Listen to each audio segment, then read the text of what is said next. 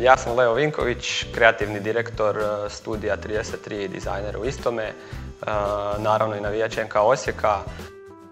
Studio 33 je tvrtka koju sam e, pokrenuo sa svojim kolegom Igorom Penovićem i mi smo agencija koja je trenutno zadužena za vizualni identitet i promociju grafičkog dizajna i brenda nogometnog kluba NK Osijek.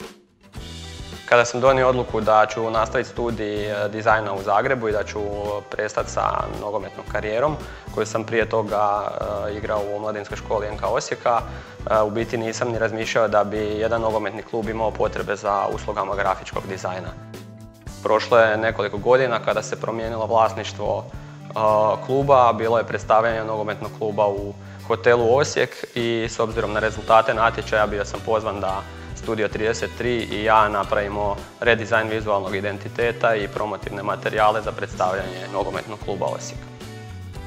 Osim e, što sam e, dizajner, ujedno sam i e, navijačenka Osijeka od rođenja i iznimno mi je drago da je vizija kluba, vizija uprave i vizija marketing tima bila jednaka našoj viziji za rebranding i bez toga naravno rebranding ne bi bio moguć i ne bi sve skupa ispalo ovako moćno kao što je to ispalo sada.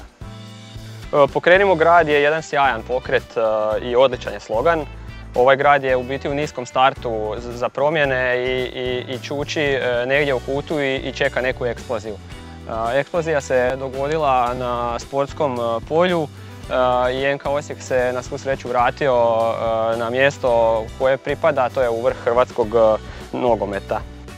Cilj u biti cijelog pokreta nije samo probuditi postojeće navijače, već i ostale simpatizere kluba.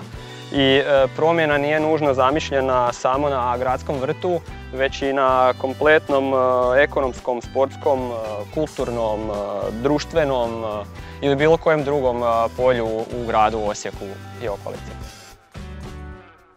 A ja za kraj mogu samo reći Osijek ale!